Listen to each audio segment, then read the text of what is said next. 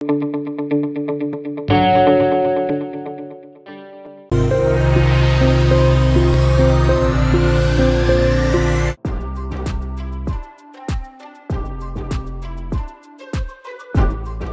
sĩ ơi, là chương trình chat trực tuyến cùng bác sĩ về những cẩm nang bổ ích cho sức khỏe theo từng chuyên đề. Chương trình được phát trực tiếp trên fanpage của Sài Gòn Tiếp Thị và group Sài Gòn Fit định kỳ vào 9 giờ sáng thứ sáu mỗi tuần. Hãy theo dõi livestream để cập nhật những thông tin về các bệnh thường gặp, cách nhận biết và xử lý phòng ngừa bệnh hiệu quả, từ đó chăm sóc sức khỏe cho bản thân và gia đình.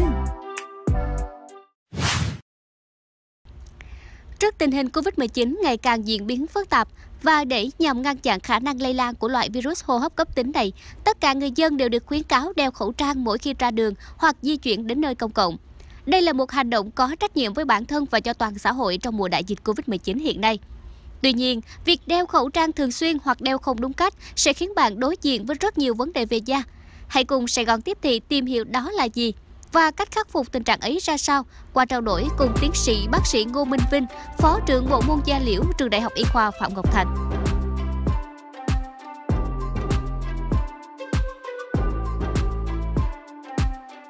Xin chào quý vị độc giả của à, báo Sài Gòn Tiếp Thị. À, thì tôi à, tôi là bác à, tiến sĩ bác sĩ Ngô Minh Vinh hiện à, công tác ở à, giảng viên của trường Đại học Y khoa Phạm Ngọc Thạch. À, hôm nay à, tôi à, rất là được lấy là vinh dự và đến để, để, để trao đổi với bạn đọc một cái à, chủ đề mà rất là thiết thực và đặc biệt trong cái thời đại mà đang dịch đã đang hoành hành đó là cái vấn đề mà tác hại của cái việc mang khẩu trang thường xuyên không đúng cách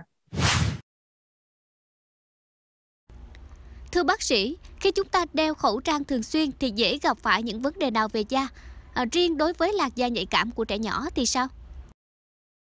Hiện nay thì mình biết rằng cái mùa dịch này á uh, mang khẩu trang rất là nhiều, nhiều mà việc việc đeo đeo khẩu trang thường xuyên thì nó cũng có nếu mà mình xài không đúng cách thường xuyên thì nó cũng ảnh hưởng đến một số cái vấn đề về da. À, và đặc biệt là cái làn da non nớt của trẻ em. Khi mình à, mang cái khẩu trang thường xuyên á thì à, nó có những vấn đề. Thứ nhất á, là mình có khả năng dễ, dễ bị kích ứng. Là biểu hiện bằng cái da mình nó có thể viêm đỏ hay là mụn nước ti ti đó thì đặc biệt là nhất là trên những cái cơ, cơ người mà có cái tình trạng là da nó nhạy cảm à, dễ bị dị ứng. Đó vấn đề thứ hai nữa là mình à, mang khẩu trang thường xuyên á, thì nó có khả năng á, thì nó làm cho một số cái tình à, trạng mà một số người có một số, số cái bệnh da mà có sẵn ví dụ như là bị à, mụn trứng cá nè viêm da tiết bã nè nhờn chẳng hạn thì thường làm cho những cái tình trạng à, bệnh đó nó nặng hơn. Rồi, rồi ngoài ra một số cái trường hợp mà người ta thấy nghiên cứu người ta thấy à, mụn. Ở những cái vùng mà có vùng mà mình mang khẩu trang cái vùng mát á, vùng dưới vùng mà mang khẩu trang là muốn có thể xuất hiện cái tình trạng mụn trứng cá à, hoặc hay là những cái tình trạng viêm da do kích ứng do tỳ đè những cái vùng da mà mình mang khẩu trang mà nó chặt chội quá là thì nó dễ gây lên ra cái tình trạng là viêm da kích ứng do tỳ đè vân vân. Còn đặc biệt thì trên cái cái đối tượng mà trẻ em á thì mình biết rằng cái cấu trúc cái à, lớp à, biểu bì da nó chưa có hoàn thiện cái làn da của nó rất là non nớt. Thì nếu mình sử dụng cái khẩu trang mà thường xuyên mà không đúng cách thì làm cho cái tình trạng da nó sẽ à, trầm trọng hơn. Đặc biệt á, là trẻ em nó sẽ bị bị dễ bị cái tình trạng là viêm da kích ứng hoặc là viêm da tiếp xúc tiếp xúc như mình nói. À, cũng giống như người lớn nhưng mà nó dễ xảy ra hơn. Và với cái mức độ thường á là nó nặng hơn. Ví dụ nó gây tình trạng đỏ hay là nó mụn nước hay là viêm đỏ hay là sưng phù của vùng da mình à, mình à, mang cái khẩu trang à, đó và nhất là nếu mình sử dụng những cái khẩu trang mà nó không đúng chuẩn đặc biệt những cái hàng trôi nổi thì những cái tình trạng da đó nó sẽ còn à, trầm trọng hơn Nguyên nhân dẫn đến những vấn đề da do đeo khẩu trang thường xuyên là gì? À, vậy thì nguyên nhân từ đâu mà nó gây ra cái tình tình trạng à, những cái à, tổn thương da nhất là cái vùng à, da mặt do mình mang khẩu trang thì có thể nói đến đầu tiên á, là do cái tình trạng viêm da tiếp xúc kích ứng. Thì cái viêm da tiếp xúc thì nó đặc biệt nó sẽ tùy thêm cái cơ địa của mỗi người. Ví dụ như có người ta dị ứng với những cái chất liệu để làm khẩu trang. Đó thì thì, thì thường cái tình trạng đó nó sẽ à, tạm thời thoáng qua khi mình uh, ngưng thì nó sẽ không bị nữa nữa. Và cái tình trạng da mà viêm da kích ứng này nó sẽ trầm trọng hơn. Nếu những cái trường hợp mình sử dụng khẩu trang ví dụ như là nó không rõ nguồn gốc không rõ xuất xứ thì thì nó sẽ làm cho cái tình trạng viêm da tiếp xúc hay viêm da kích ứng nó sẽ rất là là trầm trọng. Ngoài ra ừ, khi mình sử dụng khẩu trang đó ví dụ mình à, à mang trên mặt mà mình à, sử dụng nó chặt chội quá chẳng hạn à, nó làm cho cái tình trạng da mình nó luôn luôn ở trong trạng, trạng thái bị là bí bách luôn luôn cũng bị tiếp xúc luôn luôn bị tì đè người ta gọi là viêm da tì đè. Ví dụ như ta mang hay là mình mang cái khẩu trang mà trên cái bàn tay mình mang thường xuyên chẳng hạn thì người ta hay có viêm cái bàn tay bởi vậy người ta nghiên cứu ra những cái tay giả chẳng hạn để giảm bớt những cái cái tỳ đè thành thử mình mang khẩu trang. Nó phù hợp với gương mặt mình. Đó mình không nên nó chặt chội quá mà phải đảm bảo nó che kín hết những cái vùng sống mũi rồi ven má để mà nó nó nó nó, nó để an toàn để mình à, để để phòng chống dịch. Ngoài ra một số người người ta sử dụng à, cái à, cái tình trạng mang khẩu trang trước đó mình sử dụng. Ví dụ như là giữ ẩm quá mức làm cho cái da mình đã mang khẩu trang tình trạng da nó đã ờ, đã mà vấn đề là bài tiết mồ hôi chắc bả nhờ người này nọ nó đã ảnh hưởng rồi. Mình sử dụng thêm cái kem giữ ẩm quá dày hoặc sử dụng thêm sản phẩm chống nắng quá dày. Đặc biệt có người sử dụng rất là nhiều lớp mỹ phẩm nữa sẽ làm da cho nó sẽ bưng bí lại thành thử. Đó còn một cái tình trạng nữa mỗi người người ta đã mang khẩu trang xong á, thì mỗi lần thay khẩu trang ra người ta sử dụng sữa rửa mặt. Ờ, sữa rửa mặt á, dùng à, thường xuyên á, thì nó làm cho cái lớp da mình nó luôn luôn có một cái lớp à, à, lớp giống như là một cái lớp lipid ở lớp màng, nó bảo vệ cái da mình, sử dụng sữa rửa mặt nhiều quá thì nó sẽ làm cho cái làn da nó sẽ dễ kích ứng hơn khi mình mang khẩu trang, nó dễ bị tổn thương hơn nữa. Ở có những cái người mà da nhờn này da nổi mụn này viêm da dầu này thì cái tình trạng tiết bã nhờn nó sẽ thường xuyên. Mình mang khẩu trang thường xuyên, mang mà mình không có, lâu lâu mình phải cho da mình nó phải hô hấp cho nó thở nữa, còn không thì nó làm cho tình trạng da nó bị bít đi, nó sẽ giảm cái sự bài tiết đi làm cho cái tình trạng da nó nặng thêm. Giống như phần đầu mình nói thì nó có rất là nhiều nguyên nhân nhưng mà một số cái nguyên nhân chính là nó gây ra những cái tình trạng bệnh da. Và những cái trường hợp đó mình có thể phòng ngừa được. Vậy biện pháp nào để khắc phục những vấn đề thường gặp về da khi đeo khẩu trang trong mùa dịch?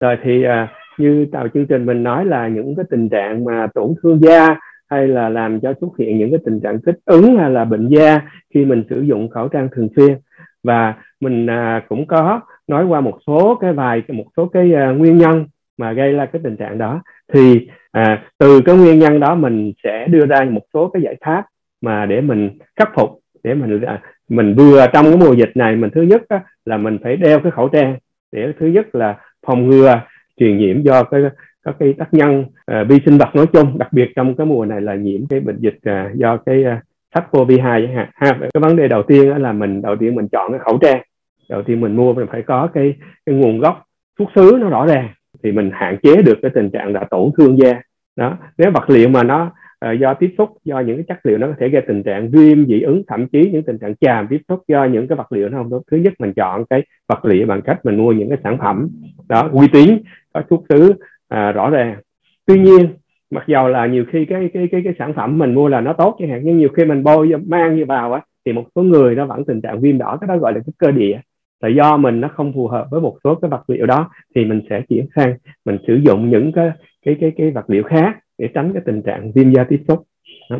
rồi đối với cái tình trạng mà viêm da mà mình gọi là do tì đè rồi chẳng hạn đó thì mình phải sử dụng cái khẩu trang nó phù hợp với cái gương mặt mình thứ nhất nó vừa có tác dụng là bảo vệ thì khi khẩu trang phải che hết mũi rồi che kín những cái vùng da ốp áp sát khẩu trang. Nhưng mà mình mang mà nó rộng quá thì nó được ngược lại nó giảm cái tác dụng để phòng chống các cái bệnh truyền nhiễm. À, nhưng mình mang chặt ngược lại nó làm cho cái da mình nó sẽ bị sưng có những cái vết hằn vết tỳ đề hay là cái viêm da tỳ đề thì mình chọn cái khẩu trang cho nó vừa dặn với lại cái cái cái cái gương mặt của mình. Ngoài ra thì khi mà mình sử dụng khẩu trang á, thì theo cái tình trạng da của mình á, thì mình sử dụng những cái sản phẩm cho nó phù hợp. Thì nên chăng thì khi mình sử dụng khẩu trang mình nên sử dụng một cái lớp kem giữ ẩm mỏng để mà nó bảo vệ da. À, còn đối với những cái người mà ví dụ như tình có tình trạng mụn trứng cá hoặc hay là những cái người mà da nhờn chẳng hạn hay là những cái người mà bị viêm da tiết bã chẳng hạn thì mình có sử dụng thêm những cái sản phẩm mà kiểm soát cái chất bã nhờn chất bã nhờn vân vân đó thì như vậy thì mình sẽ không làm cho những cái cái tình trạng mình à, nó muộn hay là những cái viêm da tiết bã nó nó nặng thêm. Ngoài ra ví dụ như những cái trường hợp mà mình à, mang khẩu trang thường xuyên á, thì làm cho cái da mình bắt đầu nó sẽ giảm được cái sự trao đổi chất giữa cái da lớp da với môi trường bên ngoài. Thì nên chăng khoảng uh, uh, mình mang khoảng tầm 3 đến 4 tiếng đồng hồ thì mình nên mở khẩu trang ra để cho cái da mình nó sẽ được hô hấp. À, nó sẽ hô hấp thì nó giảm được cái tình trạng bài tiết thì giảm cái tình trạng nóng bức ở của da đó. Ngoài ra khi á, mà mình sử dụng khẩu trang xong á, thì mình cái vấn đề rửa mặt mình thì mình cũng phải uh, tuân thủ theo. Thì tốt nhất là với những trường hợp cái da mình nó luôn luôn cọ sát luôn luôn mà mang khẩu trang như vậy thì cái da mình nó sẽ dễ bị kích ứng dễ nhạy cảm. Thì mà một cái mùa này thì mình nên sử dụng các cái loại sữa rửa mặt mà nó có tính chất dịu nhẹ như các cái dòng Real Motion mình không nên dùng cái cái cái cái chất tẩy rửa mạnh quá. Và đặc biệt những cái cái cái dòng mỹ phẩm á, mà nó mang tính chất tẩy rửa bào mòn nhiều ví dụ như retinol này hay là AHA, BHA những cái sản phẩm đó mình cũng nên hạn chế sử dụng mà thay vì mình sử nên sử dụng các cái sản phẩm kem giữ ẩm và làm dịu da. Đó. Còn rửa mặt thì mình nên rửa sáng lần tối lần. Còn ví dụ mỗi lần mình thay khẩu trang thì mình có thể mình rửa mặt nhưng mình dùng bằng nước thường. Mình không nên cái sử dụng cái ờ, cái, ờ, sữa rửa mặt. Thì ờ, à, thường xuyên. Thì đó là một cái yếu tố chính mình để phòng ngừa để mà cái tình trạng mà nó tình trạng viêm da cũng như tình trạng kích ứng da hoặc hay là những cái tình trạng mà làm mà xuất hiện những cái tình trạng uh, như là mụn trứng cá rồi vân vân trên khi mình mang khẩu trang thường xuyên. Thưa bác sĩ, phụ nữ mang thai nên áp dụng các cách nào để hạn chế mụn mà vẫn an toàn cho mẹ và bé? Khi mà người mang thai người ta hay gặp những tình trạng là cái tình trạng là da mình nó bắt đầu nó tình trạng sạm da hay là người ta gọi là cái cái rám má rất là gặp. Hay là những cái tình trạng dị ứng cũng hay gặp ở người mang thai rạn da cũng gặp ở người mang thai. Và đặc biệt là như hồi nãy à, bạn nói đó là từ cái tình trạng mụn trứng cá. Lúc đó cái nội tiết người ta bắt đầu thay đổi rồi làm da nó tăng tiết bã nhờn nhiều thành thử gọi là mụn trứng cá trong lúc uh, lúc thời kỳ mang thai. Mà như cái chương trình mình đã nói ngay từ đầu mình sử dụng khẩu trang thì cũng là một yếu tố có thể là gây ra mụn trứng cá. Thậm chí nếu mình có mụn trứng cá thả à, à, trứng cá rồi thì có thể nó làm cho nó trầm trọng thêm. Mà đặc biệt mình biết rằng đối với cái người phụ nữ mà có thai á, thì mình không những cái thuốc uống mà ngay cả một cái số cái thuốc mà mình mình mình sử dụng mình thoa chẳng hạn mình bôi chẳng hạn thì nó cũng có thể hấp thu vào máu. Một số thuốc nó thể ảnh hưởng đến thai nhi thành thử trong cái giai đoạn này rất là thận trọng. Thì hầu hết những cái khẩu trang á mà mình mang để mà mà mà để bảo vệ chống bụi hay là để mà ngăn ngừa các cái bệnh truyền nhiễm do các cái loại vi sinh giải vật nói chung á thì hầu hết nó không ảnh hưởng gì đến phụ nữ có thai. Tuy nhiên với cái làn da phụ nữ có thai thường á là hay bị nám má hay là bị bị mụn trứng cá thì tốt nhất á, trước khi mình sử dụng những cái cái cái cái, cái khẩu trang mình nên giữ bôi những cái sản phẩm kem giữ ẩm dịu nhẹ trước khi mình mang khẩu trang. Nếu mà da mà có tình trạng mà tăng tiết bã nhờn dễ lắm mình nhìn thường vào cái da mặt nó bóng nhờn mình rất là dễ, thì mình có thể sử dụng thêm những cái sản phẩm mà kiểm soát nhờn để làm cho cái da mình nó không có, nó nó không có tiết bã nhờn nhiều, làm cho nó nó ứ ứ động và làm cho cái tình trạng mụn nó sẽ nặng hơn. Đó. Đồng thời á, đối với cái à, mình sử dụng cái sữa rửa mặt cho nó à, cho cho nó phù hợp. Đó và đặc biệt có thể mình đối với phụ nữ có thai có thể mình ra ngoài ngoài vấn đề mình bôi thêm những cái sản phẩm uh, chống nắng nhẹ nhàng mỏng thôi để bảo vệ. Đặc biệt thì đối với phụ nữ có thai thì ưu tiên sử dụng những cái dòng chống nắng mà vô cơ thì thường nó không ảnh hưởng đến đến thai chẳng hạn. Còn uh, trong trường hợp mà phụ nữ có thai người ta có vừa bị mụn nữa rồi mà người ta thì mình có thể buổi tối về có cho có thể mình sử dụng một số cái sản phẩm mà bôi mụn để nó giảm sưng giảm viêm thậm chí có tác dụng diệt khuẩn nhưng mà nó không ảnh hưởng đến thai. Ví dụ như những cái sản phẩm rất là phổ biến như là các cái dòng ben benzene peroxide hoặc hay là cái uh, axit azelaic vân vân một số cái sản phẩm đó. Có thể buổi tối về mình bôi thêm thì mụn và mình lưu ý là phải có thì mình có thể hỗ trợ thêm chăm sóc da bằng xịt khoáng rồi à, chế độ ăn mình uống đầy đủ nước tăng cường cái dinh dưỡng. Và đặc biệt với cái người muộn thì mình lưu ý hạn chế những cái thức ăn mà nó làm cho à, tăng tiết bã nhờ và làm cho cái tình trạng mụn mình nó có thể nặng hơn. Thì thường những cái thức ăn mà nó thì hay nói có cái đồ ngọt mình để ý các cái loại bánh trái ngọt rồi đó bởi giảm bớt. Rồi à, sữa đó sữa nó cũng có nhiều cái yếu tố như IGF 2 cũng làm tăng mụn sữa. Rồi à, những cái đồ nóng như mì à, tinh bột nhiều như mì gói rồi xôi nếp hay những cái đồ chiên xào mình cũng giảm bớt tăng cường ăn nhiều rau tươi trái cây rau quả xanh để cái đó cũng góp phần làm cho cái à, hỗ trợ cho cái điều trị mụn Có người cho rằng đeo khẩu trang 3 lớp, 4 lớp thì đã bảo vệ tránh tia UV rồi, không cần thoa kem chống nắng nữa. Quan điểm này có đúng không thưa bác sĩ? À, chào quý vị à, độc giả của Sài Gòn Tiếp Thị. Thì cái câu ờ, hỏi này rất là hay. Nhiều người người ta mang cái khẩu trang ra ngoài rồi người ta ờ, nói là y tế rồi khỏi cần mình sử dụng chống nắng nữa. Thì điều này có có có thật là như vậy không? Khi mình ra ngoài à, ánh sáng, ngồi à, ngồi đi ra ngoài trời á thì có rất là nhiều tia xung quanh mình rất là nhiều cái tia sáng thì cái tia hồng ngoại rồi vân vân vân mà đặc biệt có hai cái tia sáng mà nó sẽ ảnh hưởng đến cái da mình người ta gọi là tia tử ngoại hay là tia cực tím á, thì gồm có cái cái da, cái cực tím mà người ta hay ngại nhất là UVB tức là cái tia cực tím B mà rất là nhiều trong cái cái cái bức xạ của mặt trời. Và những cái tia đó mình ra ngoài làm cho da mình nó sẽ đỏ lên và về nhà nó bị sạm đi. Đó, thì khi mà mình mang cái khẩu trang á, thì nó, thực ra thì nó có tác dụng chống nắng không? Thì thực ra thì nó có đó, nhưng mà nó không có phải là bảo vệ tối ưu. Mình biết rằng cái ờ, vấn đề chống nắng á, thì nó sẽ bảo vệ có hai tác dụng là tác dụng là vật lý là nó cản tia nắng nó phản xạ lại. Cái thứ hai đó là nó hấp thụ các cái tia UVB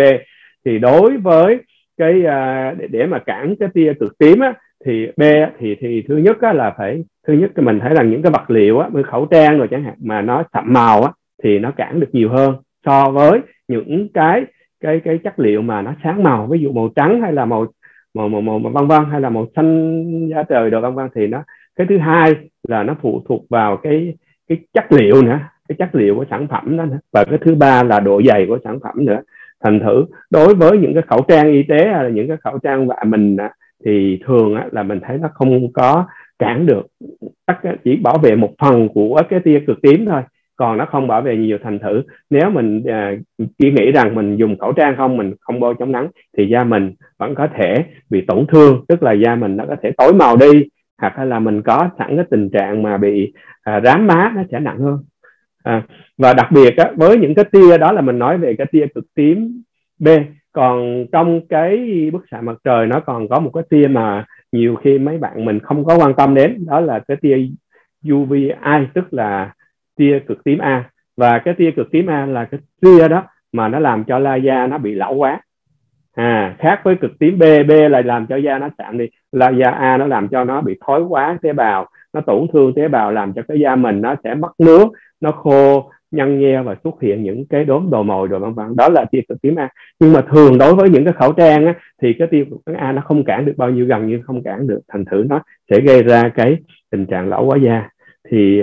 tóm lại thì đối với khẩu trang thì nó có thể bảo vệ chống nắng nhưng mà nó không hoàn toàn chỉ một phần thôi thành thử khi mình đã mang khẩu trang y tế rồi mình để mà cái làn da mình nó đủ luôn mà nó không bị sạm màu làn da mình nó không bị lão quá thì mình sử dụng thêm kem chống nắng đó có thể thay vì bình thường mình bôi chống nắng dày bây giờ mình đã bôi khẩu trang có thể mình giảm bớt cái cái cái cái cái cái cái cái cái cái, cái nồng độ cái liều lượng của kem chống nắng đi thì nó vừa có hai ưu điểm thứ nhất là vừa bảo vệ da không ờ, khỏi tác động của ánh sáng mặt trời mà nó đồng thời mình bôi mỏng nó nó cũng làm cho cái da mình nó không có bị bức bách không có bí nhiều thành thử nó cũng vừa tác dụng là là không có xuất hiện những cái tình trạng mụn hay là những cái tổn thương da như mình đã nói ở trên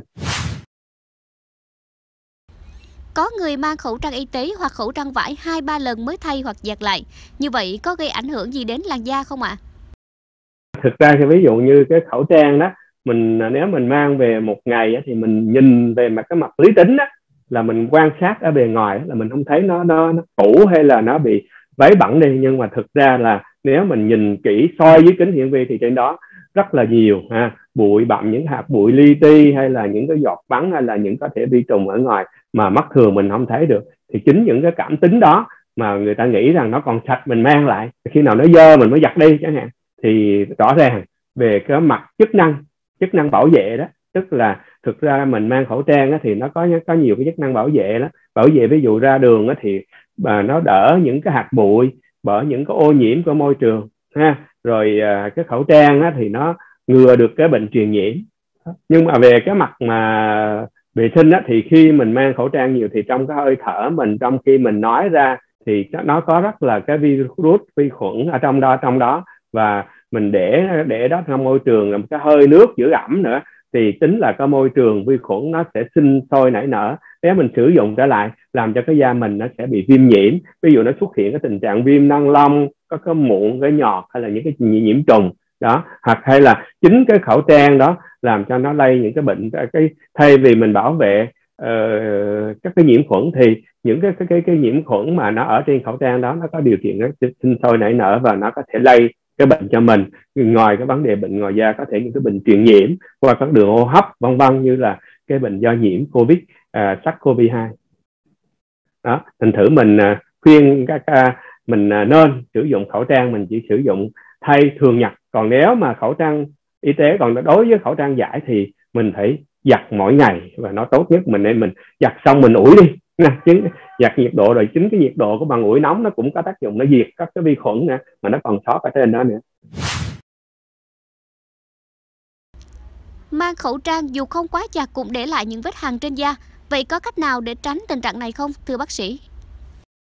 À, xin chào à, các bạn độc giả của Sài Gòn tiếp thì thì cái này có vấn đề của tôi cũng hay gặp người ta thấy. Một số người thì ta mang khẩu trang thì chẳng sao hết. Tuy nhiên một số người ta mang khẩu trang về có những cái vết hằn hàng sâu xuống thậm chí nó đỏ lên và uh, nó lâu ngày nó mà cỡ thời gian rồi nó mới biến mất được rất là khó chịu. Thậm chí một số người mà mang hoài cho đó vết thằng đó nó có tình trạng cấp chỗ cái thằng nó bị viêm da chẳng hạn thì tìm hiểu về vấn đề này thì nó có một số cái nguyên nhân cái vấn đề thứ nhất á, là như mình đã nói tức là khi người ta mang cái cái khẩu trang nó chặt quá à nó nó nó tì đè lên cái vùng da chỗ cái đó rồi cái vật đó hay là, là rồi cái uh, thứ hai là những cái vật chất uh, cái chất liệu của khẩu trang nó không được đạt tiêu chuẩn nó có thể nó thô ráp nó cứng nó làm cho đè làm cho nó tình trạng viêm hằn xuống thậm chí có tình trạng viêm đỏ lên. Đó. Ngoài ra cái vấn đề mà khi mang khẩu trang viêm hằn nó còn tùy thuộc vào mỗi người nữa. Cái một số cái ví dụ như cái một số người cái da người ta nó đã bị trùng nhão đi.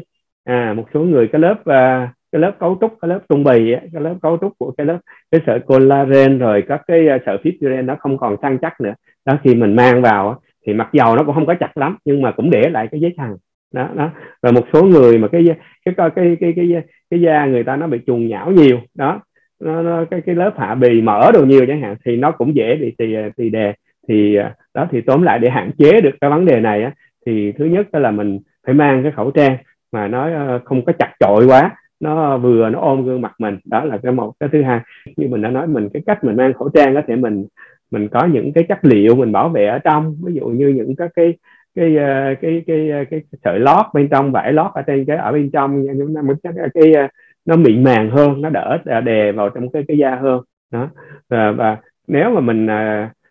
bị cái tình trạng mà da nó mình mang vào bào về nó tì đè thì mình nên uh, sau khi đó thì mình nên là mình à, có cái cách là mình không lâu lâu mình à, mang xong mình phải thay đổi cái vị trí cái khẩu trang để giảm cái vị trí mà tiếp xúc thường xuyên để nó tạo nên cái cái tỳ đề. Cũng như là mình có thể sau khi mình khởi khẩu trang ra mình nên sử dụng tích khoáng rồi kem giữ ẩm có thể mình massage nhẹ nhàng cái vùng đó để mình uh, ngừa cái cái cái vấn đề tỳ đề. Thì thường đa phần đó là nó sẽ xuất hiện thời gian tuy nhiên một số người nó kéo dài và nó để lại cái tình trạng bị viêm da do tỳ đề chẳng hạn